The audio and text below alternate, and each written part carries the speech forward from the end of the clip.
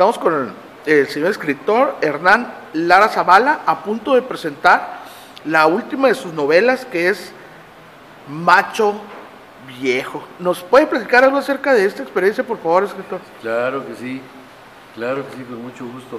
Pero primero decirte que espero que no sea la última, es la más reciente. Es la más reciente, sí. La última de sus novelas, por eso dije, pero sí. No, la más reciente porque espero, yo tengo la ambición de escribir mínimo 10 novelas.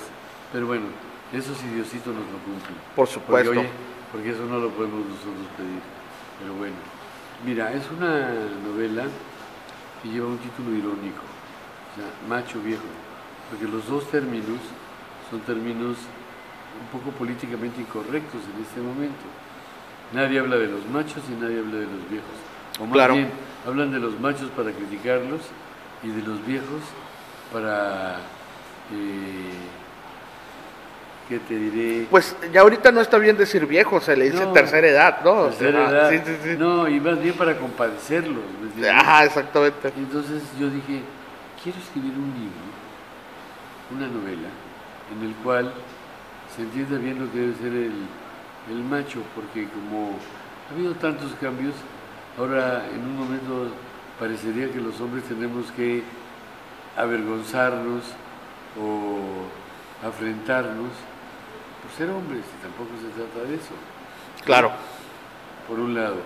Pero tampoco quiero yo que el ser viril, el ser hombre, se convierta en un en una defensa de algo que deploro, que es el machismo mexicano. O sea, el echador, el bullying, el bravero, el borracho, el mujeriego, el vale madres. Claro. Y eso es lo que yo no quisiera, ¿no? Entonces digo, se puede ser un hombre, o sea, un macho en el mejor sentido de la palabra, como un varón, vamos a decirlo así, sin necesidad de estar alardeando de ello.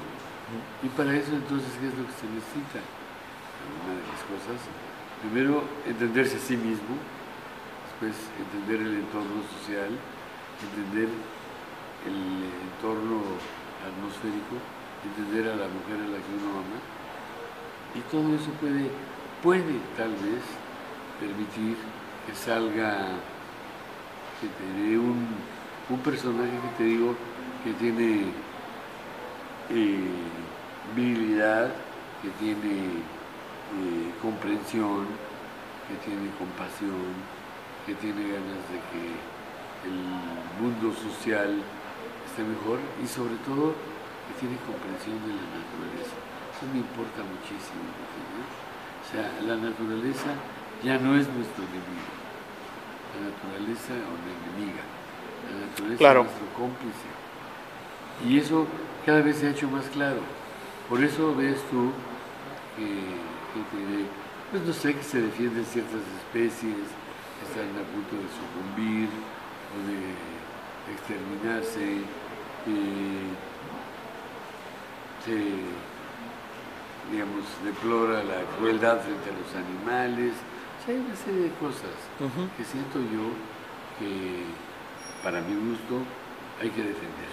Hay que defender otro es el planeta Tierra, otro que es la, mujer, y la otra parte, el, contrapunto, que es por qué a los viejos se les ve ahora, te digo, con lástima, con un ligero desprecio, no, ves que ya está viejo, etc.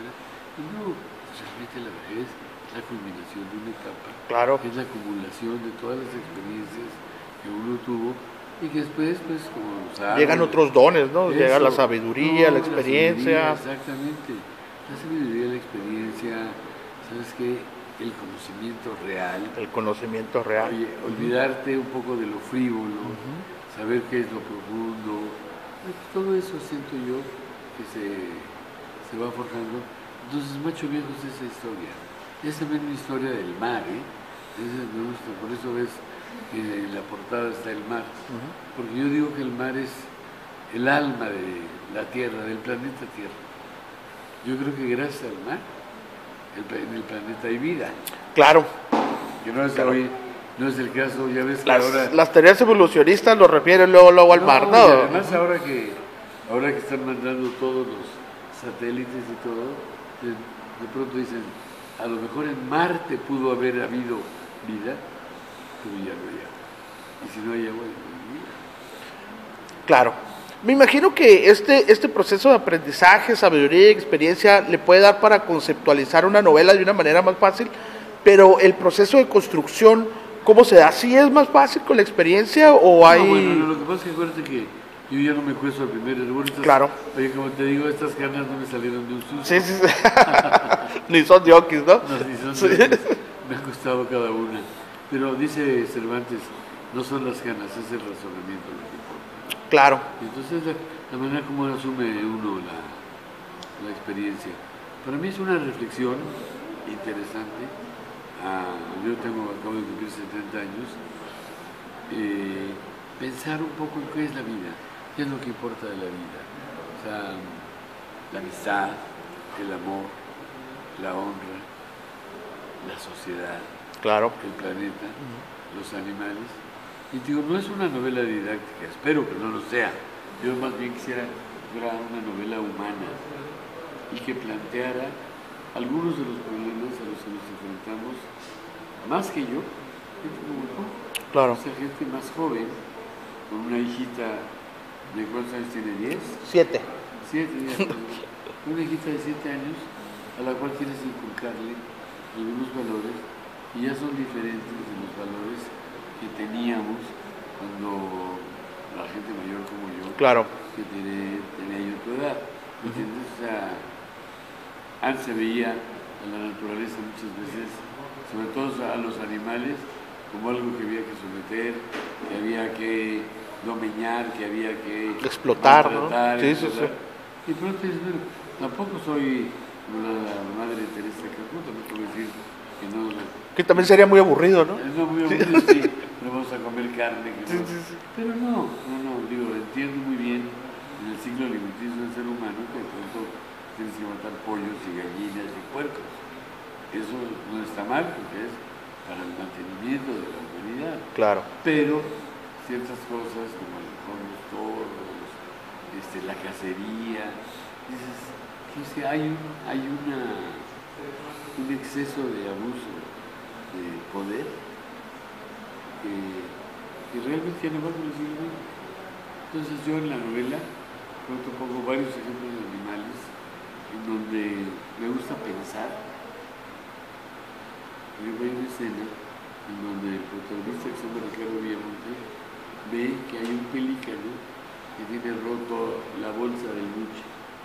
O sea, él, ya ves los pelícanos, pues desde eh, aves muy interesantes suelen volar prácticamente al ras del, del mar y en el momento que ven una presa, carbón o lo que sea, ¡pum!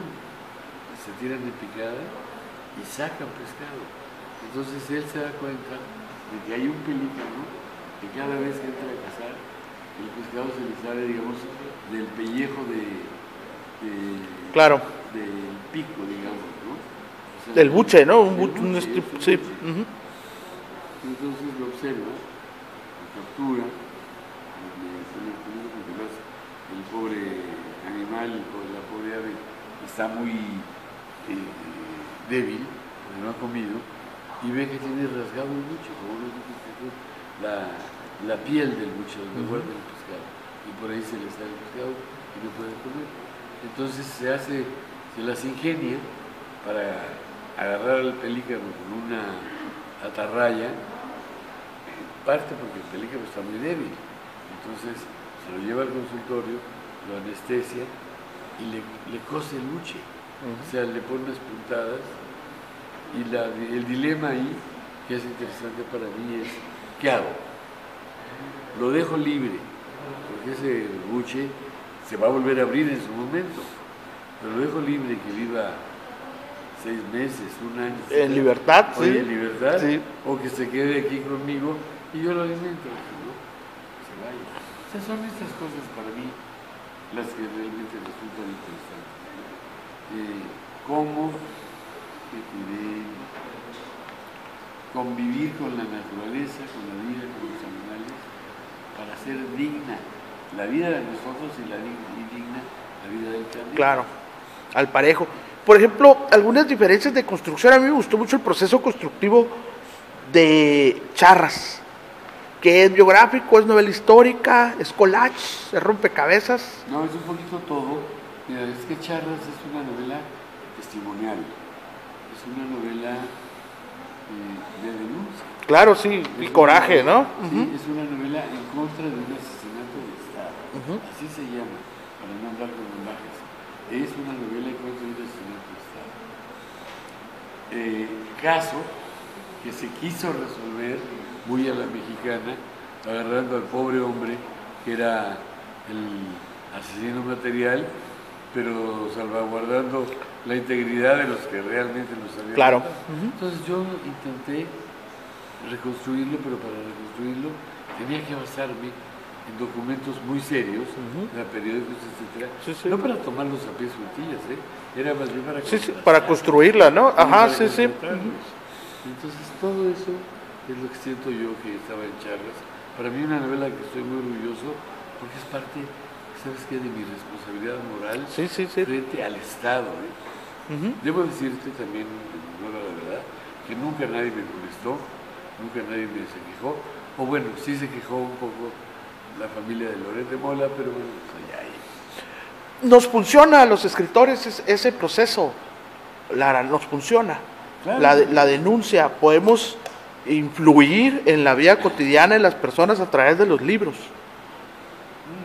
O son meramente un testimonio que nos hace sentir No, bien. No, no, no, al contrario. Eh, tú no sabes, yo publiqué charlas, si mal no recuerdo, 1990, o a lo mejor 91, no recuerdo exactamente.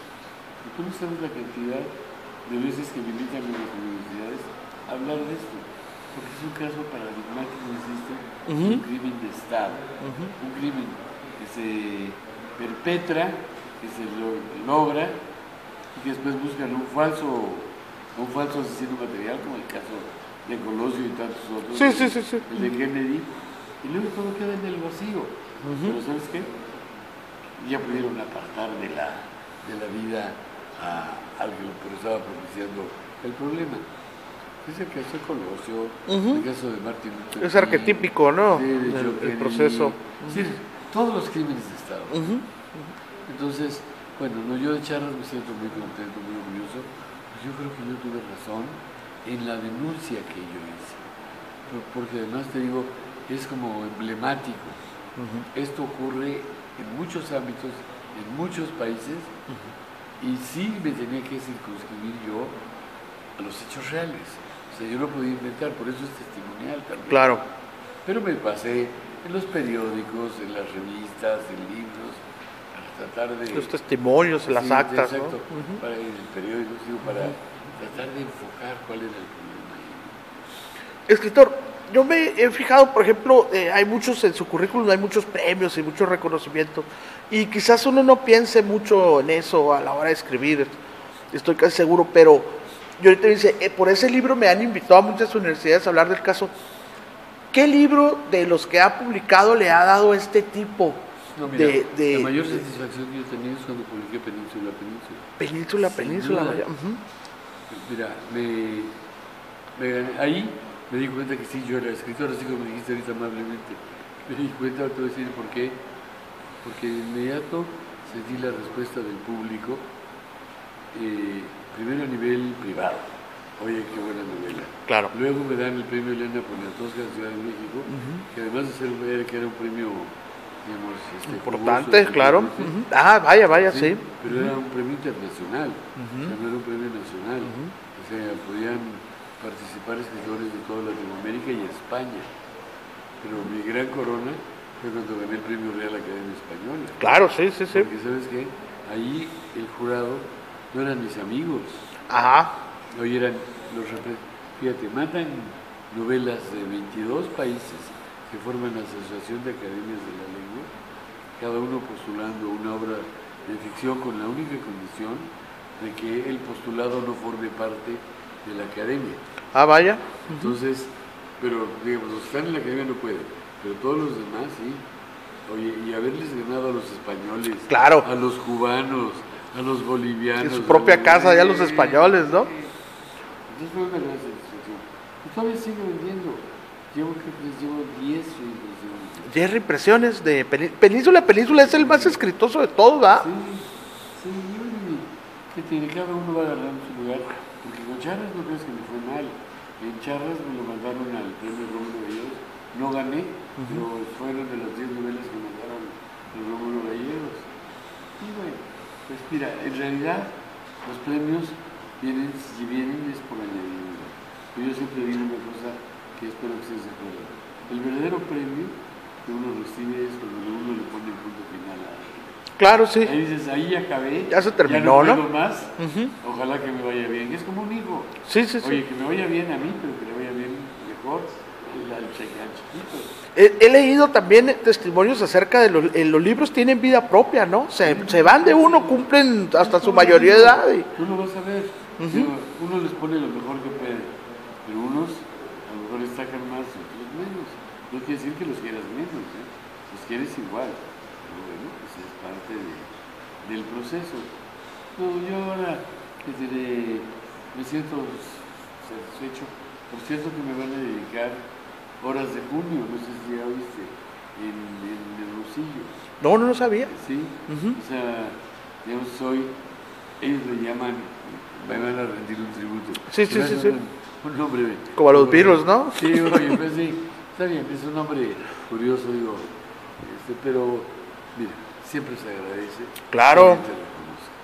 No, no, no vamos a ser hipócritas, decir, Sí, sí, yo sí. no lo merezco. Pues le da a uno, te da la oportunidad de viajar, ir, conocer No gente, eso, saludar viejos ¿sabes qué amigos. Sí, Y oye, ver que lo que hiciste no fue en balde.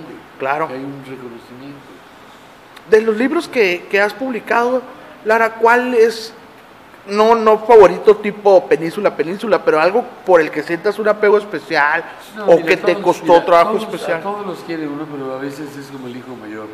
Tal vez en ese sentido, el que me dio, que tiene la satisfacción de sentirme escritor fue de Citilchen, que ahora está publicado ya en el Fondo de Cultura Económica, en una serie que a mí me gusta, De Citilchen. de Citilchen, en una serie que me gusta mucho, que se llama eh, Lecturas Mexicanas, serie menor, porque la serie mayor son los librotes. Serie Sí, menor, sí, sí. Como salió Arreola con el confabulario y Fuentes con eh, te- de- el libro de... El que sigue de bolsillo, vaya, ¿no? Es que no es bolsillo. No es bolsillo, es el que sigue, ¿no? eh, la región más transparente sale también en, esa, en ese formato. Ahí sale también Pedro Páramo. A mí me gusta más porque es, oye, es pasta dura. Ah, ¿es pasta dura? este, un diseño muy bonito. Y, y no sé si has visto el citichen del fondo. No lo he visto, no lo he visto, pero ahora que me lo dices lo voy a buscar, sí. Una portada muy hermosa. Y bueno, pues ese es. te digo, es como los hijos. No es que el mayor sea el mejor, pero tal vez es el que te dio la sensación o que te enseñó a ser padre o madre. Claro, claro. Eh, de tus lecturas, Lara, algún libro que, o algunos libros que nos puedas recomendar, Soy un lector empedernido. me imagino, sí. Pero te voy a decir que mi gran maestro en, en la literatura mexicana, mis dos grandes maestros fueron José Arreola y Juan García Ponce. Mis maestros en la literatura en general fueron sobre todo William Faulkner, Hemingway y Fitzgerald. Y luego, ya en la edad más avanzada, etcétera, ahora soy un lector eh, empedernido de algunos escritores de la literatura inglesa y, e irlandesa, de James Joyce, de William Trevor, de Brian Field. O sea, hay un grupito ahí que me han enseñado muchas cosas y sabes, te voy a decir de alguna manera, lo que mejor me han enseñado es que uno no tiene que buscar la universalidad, sino la parte que uno conoce en primera persona, y sabes qué, y con cierta profundidad. Claro. Entonces, no querer ser, digo yo, eh, que te diré, universal, Universal, sino ser por el local, tema, ¿no? Oye, Ujú. oye, ser local para tratar de llegar a... Y si se puede, y si no, ¿qué más da? Porque lo que uno conoce, nadie te lo puede negar. Ese es otro tema que, que está en boga, eh, Lara, lo local, lo, lo que percibimos, lo que tenemos alrededor. pero no nomás en la literatura, sino en la comida, en la cultura, en la música. Todo. Mira, Tijuana. Si Tijuana es importante es por donde está ubicada. O sea, por su música, Claro. por su comida. ¿Sabes qué? Por su eh, lugar estratégico donde está situado. Los- las novelas mejores de México, en mi opinión, por ejemplo, Pedro Páramo. O sea, no es, es universal, es Ujú. parte, porque es local. Porque es local. Eh, porque los muertos en ese pueblo que se llama Comala, ni, ni están muertos ni están vivos, son ánimas del purgatorio que Sí, van sí, sí. Son personajes perfectos. Sí. eh, si un amigo mío no está ni vivos ni muertos. Sí, ni vivos ni muertos. Luego, eh, ¿qué diré? Los cuentos de Arreola, que pueden ser fantásticos, pero los mejores cuentos de Arreola son, en mi opinión, los más cercanos a su corazón, que tiene como el guardagujas, por decirte, ¿no? La feria, este, revueltas, Martínez Guzmán, la parte interesante de Carlos Fuentes, que es su indagación sobre México, del paso, José Emilio, o sea, Claro. el propio García Ponce. Yo escribí un, un epílogo que yo le puse, así le puse, eh, Tajimara y otros cuentos eróticos, y yo hice el epílogo y le puse el cuento a manera de autobiografía. O sea que voy analizando los cuentos de García Ponce, yo como crítico, para ver cómo él se va forjando y va creando su, su autobiografía Ah, erótica. vaya. Sí, sí, sí, sí, sí, sí, sí. O sea, ¿cuáles son sus primeros? ah, Lo, más interesante al principio es un poquito el incesto, y después es el, el adulterio, el voyeurismo, y vas viendo cómo se va forjando como el imaginario erótico Claro. de García Ponce. Yo digo, no es mi autobiografía, es la autobiografía de García Ponce, pero extraído de sus cuentos. Eh, Sí, imaginaria, ¿no? Imaginarios. Eh, eh, ahorita que lo, que lo mencionas, eh, tienes también una gran predilección por, por los cuentos, ¿no? Yo vi, por ejemplo, Después del Amor y otros cuentos, o El Guante Negro y otros cuentos, ¿no? Es también que- hay una vena tuya ahí es que yo abundante. me- es que yo me formé en principio como cuentista. Solo que este escritor, William Trevor, me dio un consejo muy bueno. Me dijo, no, no puedes ser novelista. Si de veras quieres ser escritor, así me lo dijo, ¿eh? Quieres ser cuentista y novelista. Claro. Así me lo dijo. Ujú, ujú. Dije, cuesta más trabajo la novela. El cuento es un género que tiene muy parecido a la poesía, de inspiración. Pero dije, me tengo que arriesgar al otro. ¿Sabes qué? A meterle trabajo, investigación, voluntad, Claro. estructura. Y ya no es el chispazo. Ajá. Ya es el trabajo de madurez Sí, sí, sí. tiene que va paso a pasito para tratar de llegar al, punto. Claro que sí. Pues Lara, otra vez una, estamos con Hernán Lara Zavala, otra vez una gran entrevista, muchísimas No, gracias. Muchas gracias a ti. Agradezco en todo lo que vale y te felicito también por tu acuciosidad y perspicacia como Muchas gracias, muchas gracias. Eh, pues vamos a publicar la, la- la entrevista ahora en video, la otra vez fue en- la primera vez que lo entrevistamos fue en audio y esta vez va a ser en video. Muchísimas Bueno, gracias. Yo al contrario, no solo te agradezco, te felicito y de veras un gran, gran entrevistador. Muchísimas gracias. Que Dios bendiga a tu hija, que por aquí anda. Isis. Sí, que son, oye, son nuestras esperanzas.